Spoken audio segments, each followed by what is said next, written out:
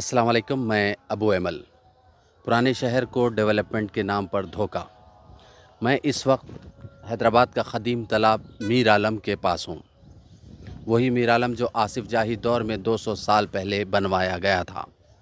ये बेानतहा खूबसूरत तालाब है।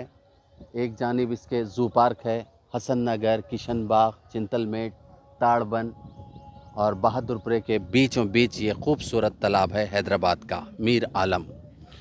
मैं आपको बता दूँ कि जो हुकूमत इकतदार पर आती है, इस नाम, इस तालाब के नाम पर आवाम को गुमराह करती है। डेवलपमेंट के नाम पे सौ करोड़ का ऐलान करती है। यहाँ पर टीडीपी गवर्नमेंट, कांग्रेस, अब टीआरएस, हमेशा ये ऐलान करे कि मीरालम तराब के अतराफ़ में नेकलेस रोड की तरह डेवलप किया जाएगा। आप देख सकते हैं कि डेवलपमेंट के नाम की कोई चीज़ यहाँ पर नहीं है। हर तरफ़ पानी के ऊपर बेल है। जंगली झाड़ें बढ़ चुकी हैं। पानी इसके नीचे है, पानी बिल्कुल दिखाई नहीं देता। और बे इंतहा यहाँ पर लापरवाही की जा रही है टीआरएस गवर्नमेंट की जानब से। कुछ दिन पहले 200 करोड़ का, जब टीआरएस गवर्नमेंट इकतदार पर आई थी तो करी इस बात का ऐलान करी थी कि हम 200 करोड़ रुपए से इसको डेवलपमेंट करेंगे।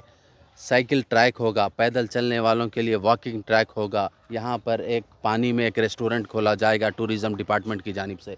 और किशनबाग अत्तापुर से ताड़बंद की जानब तक इसको नेकलेस रोड का दर्जा दिया जाएगा। कोई काम नहीं हुआ यहाँ पर।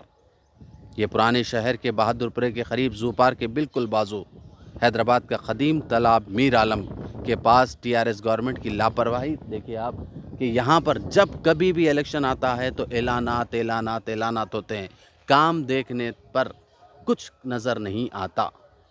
ये है हकीकत, अबू अहमल।